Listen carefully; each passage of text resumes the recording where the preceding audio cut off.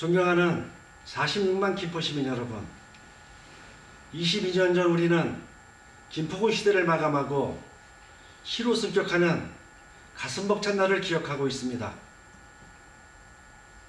이렇게 뜻깊은 날에 시민 모두와 함께 자축하고 미래를 향한 비전과 결의를 다져야 하는 오늘 코로나19의 일상을 빼앗기고 개나리 진달래 피어나는 봄조차 잠식당하면서 마스크 속 얼굴에는 웃음조차 잃었습니다. 서로의 희망과 미래를 이야기해야 할 이웃끼리 사회적 거리를 두기 위해 만남과 대화를 아껴야 하고 수많은 자영업자들은 지독한 매출 감소로 어려움에 직면해 있습니다.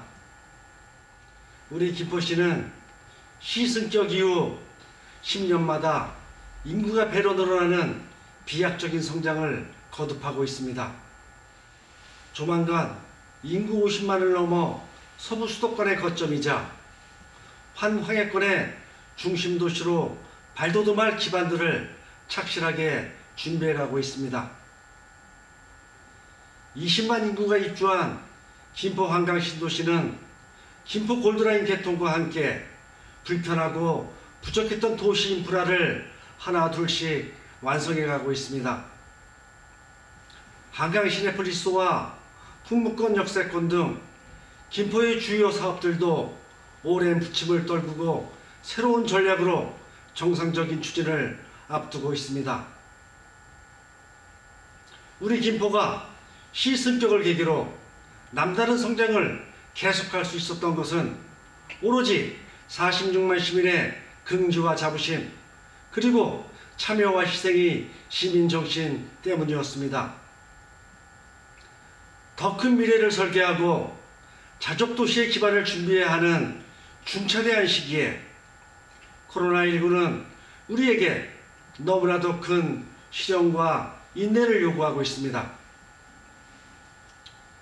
가족과 이웃, 그리고 지역과 국가를 위해 우리는 우리가 할 수 있는 모든 것에 최선을 다해 코로나19의 지역사회 전파와 확산을 막아야 합니다.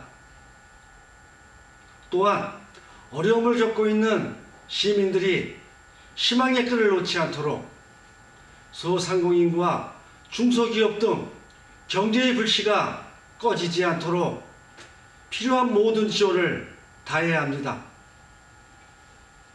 김포의 뿌리와 성장 동력을 무너지게 할 수 없다는 비장한 각오로 서로 협력하고 서로 배려하는 공동체 의식이 무엇보다도 필요한 시기입니다. 김포시는 김포시의회와 긴밀한 협의를 통해 코로나19를 막고 민생 경제를 살리면서 지역 경제 생태계에 활력을 불어넣는 긴급 생활경제 지원에 나서겠습니다. 조금만 더 사회적 거리두기와 직장 및 개인생활 수칙 등을 철저하게 지켜주시기 바랍니다. 존경하는 김포시민 여러분, 일체 유심조라고 했습니다. 아무리 어렵고 힘들어도 사람이 하는 일이며 우리가 어떻게 생각하고 받아들이냐에 따라 결과는 달라질 것입니다. 우리 민족은 그 오랜 시간 동안 수많은 침략과 전쟁 그리고 외환 위기를 슬기롭게 이겨낸 저력이 있습니다.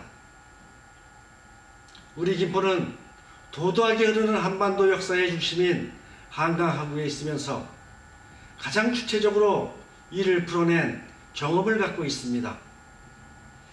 내년은 아닐 것입니다. 2021년 23번째 시민의 날은 다를 것입니다. 진달래꽃 곱게 핀 가연산 정상에서 뽀얀 꽃망울을 활짝 터뜨리는 계양천 벚나무 그늘 아래서 흐드러진 춤 사이와 넉넉한 웃음이 가득한 얼굴로 정겹게 만날 것을 약속합시다. 지금 이 시간에도 코로나19와 싸우는 의료진과 자원봉사자 그리고 어려운 경제 상황을 참아내시는 자랑스러운 시민 여러분 모두에게 제삼 감사와 응원을 보냅니다. 우리는 잘 해낼 수 있습니다. 우리가 바이러스와의 전쟁에서 반드시 이깁니다. 감사합니다.